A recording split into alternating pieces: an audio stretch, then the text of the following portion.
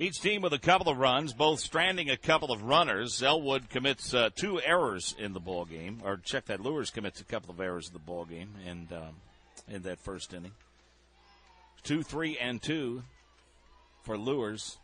For Elwood, two, two, and zero, we should say. So, uh, second time to the plate for the Fort Wayne Bishop Luers Knights. Dan Wiss, the shortstop, Hammock, the right fielder, Kiermaier, the pitcher, eight, nine, and one.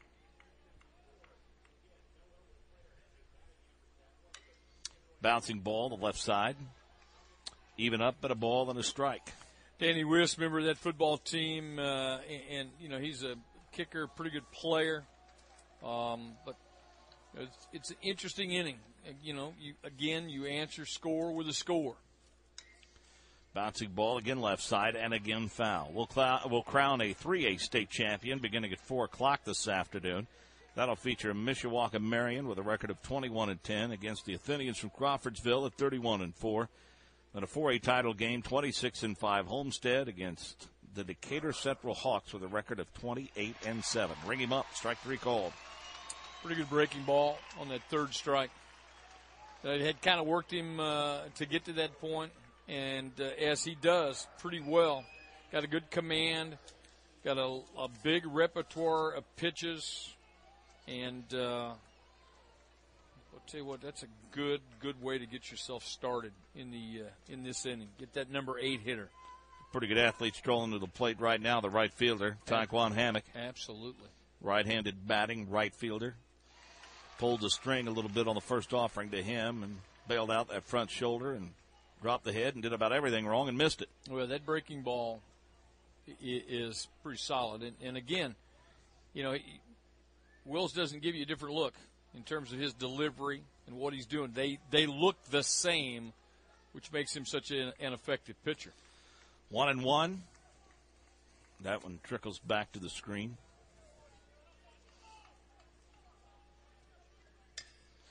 Well hit, left field, right at Hartman. He won't get it over his head to the base of the wall. Hammock makes the turn, speeds into second base with a stand up double. He yanked that one.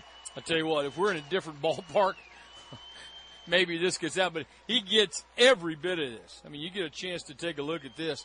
I mean, it's right where he's able to get full extension, which he does, and a uh, an easy double for Taekwon Hammock.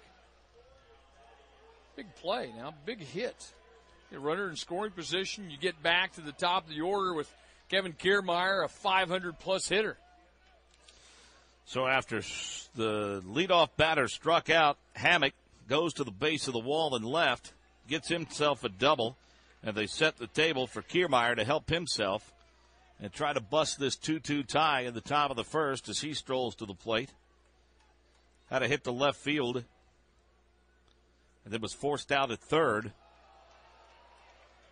That one just missed. Mm. The count goes to 2 and 0. Did just miss. Now you're you're behind 2-0 to a 500 hitter.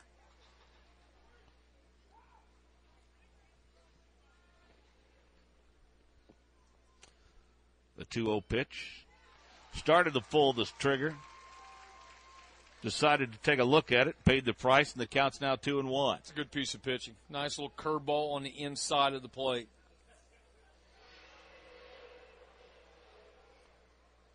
Check of the runner is second base Hammock off the double. That one caught the corner as well, even at two and two. Interleague play in the bigs. We see the Cubbies already up on Toronto four to nothing. LA and Detroit hooking up today. Florida and Tampa Bay. Give you the rest of the schedule. It's time for Mets, Pittsburgh, Baltimore, Colorado, and the White Sox, San Diego, and Cleveland. The 2 2 pitch swung on toward the gap and right. Clean draws a beat on it. Man, Hammock gets picked off up. at second base. Mm, mm, mm, Questionable base running, no doubt about that. That doesn't go in the book as an error, but uh, it's an error in judgment nonetheless. That's the third out of the inning, and in the inning. For Elwood in the bottom of the second, Nate Jones, Aaron Clean, and Jacob Dunnigy First pitch is a ball.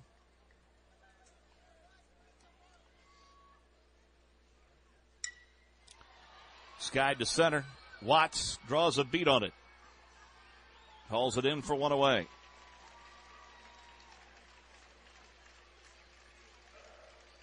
Good inning for Kiermaier to get settled down a bit.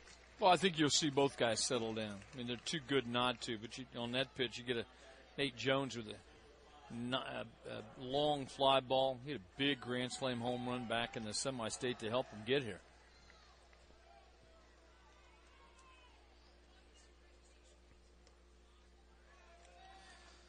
First pitch of ball. Right fielder for the Bishop Luers Knights, Aaron Klein. Second offering, swing and a miss. Count even a ball a strike. Donaghy at the top of the order. Scored the first run for Elwood. Waved at another offering and doesn't get it. One and two. I think you've seen Kiermaier just start to kind of feel some you know, a little more rhythm right now. The one-two pitch took a little something off. It missed Yeah. low and away. Yeah, he's not going to he's not going to throw that one across. But now I think you he'll come back, challenge him right here, and and maybe with a little little breaking ball. Two-two pitch, swing Yep. and a miss. And uh, really, his pacing's picked up Oh, a little yeah. bit. I mean, he's working a little quicker. Oh, Well, and it does. He just looks more fluid too, doesn't he? Just feels more comfortable. Right. You would think. And I, obviously, you're on the huge stage. I mean, you've got a situation where you've given up two. Probably not too many teams that put two on the board in the first inning against you throughout the year. Now with that 157 ERA, it hasn't happened often. well, I'll you saw him on that, just uh, down and away, a pitch that's really difficult to hit. First pitch to Donaghy misses a ball. He in the first inning scored the first run of the ball game. He reached two errors were charged to West the shortstop, bobbled a ground ball and then threw it away, which allowed Donaghy to go all the way to second Yeah, base. The thing about him, though, I mean, with Dunny, if he puts it on the ground, if he hits a ground ball, if on the left side, you're going to have to make a quick play because he's such he's got such great speed. Pulled the string a little bit on a pitch upstairs, waved at it and missed it. It's two and one.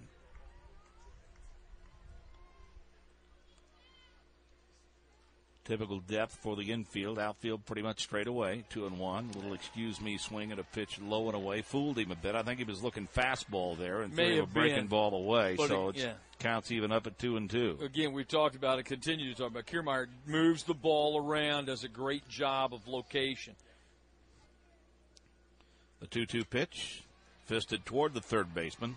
Bunn scoops it up, guns it across to Diamond. Good scoop at first by Franke to end the inning.